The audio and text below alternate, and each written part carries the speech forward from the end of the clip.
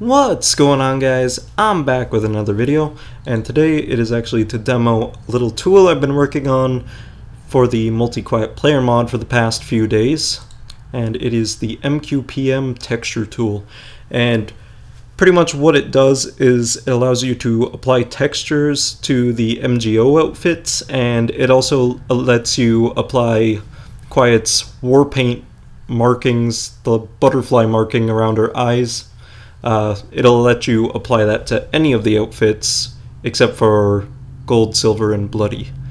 Uh, anyway, let's just dive right into this. So first we need to grab some outfits so I can demo this. Let's move that over there. And let's go with MGO. For battle dress, let's go with Naked Snake. Take that, put that in there. Uh, we'll go with hardened battle gear for normal. And I'll grab one of the normal outfits. Let's go with mother base.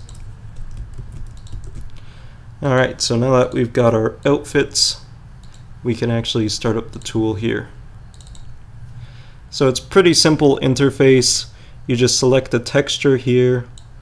Let's go something we can make something pretty ridiculous looking. Yeah, let's go with the leopard print. And you just select your assets folder. So you want to go into the folder that you have the assets folders in and click assets. You don't want the base folder, you want the assets folder. And once you've done that, then you just hit process and that's it, it's done now. And then you can also apply a texture to the shirt if it's Naked Snake or the t-shirt. So let's do that. And now let's go on to another outfit, which will be the uh, Hardened Battle Gear. Want to make sure to uncheck that box if you're not using either Naked Snake or t-shirt. And let's put this on it. Now, um, if you want Quiet's war paint slash markings to appear on her face, then you just click the war paint button there and it'll do that. And obviously with normal outfits or any of the non-MGO outfits, the tool won't work so you can't hit process. If you hit process, it'll just give you this message pretty much telling you that it won't work.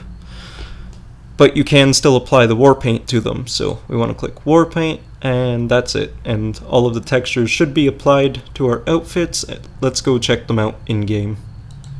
Alright, so let's select Quiet as our character here.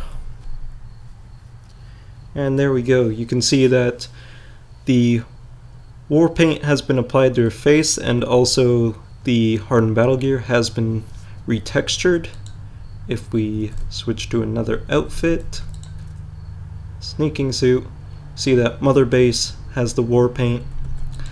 And if we go to the battle dress you can see that uh, both the pink for the top was added and also the leopard print was added to the pants. So that's what the texture tool does. It's pretty simple easy to use. There are a couple things to note though. If you're using it with snakebite um, you want to preferably use it before creating the snakebite file because when MakeBite uh, scans files to add them, uh, it leaves some folders that will con that will conflict when trying to build the snakebite file. Uh, if you do do that though, there is a way to get around it. So what you need to do if you are going to do that, is go into your folder, go all the way to the end, and delete any folders here. If you delete them, then you can use the tool again, and then rebuild your snakebite files. And the other thing to note is that the war paint effects are permanent. Once you apply them, you can't unapply them. So make sure to create backups of all your files before using the tool. Anyway, that's pretty much it for my demonstration of the tool. I will see you guys in another video.